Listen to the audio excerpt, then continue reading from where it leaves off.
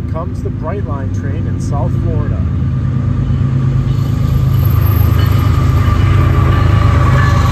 Oh wow, it's actually the Florida East Coast Rail. This is even better.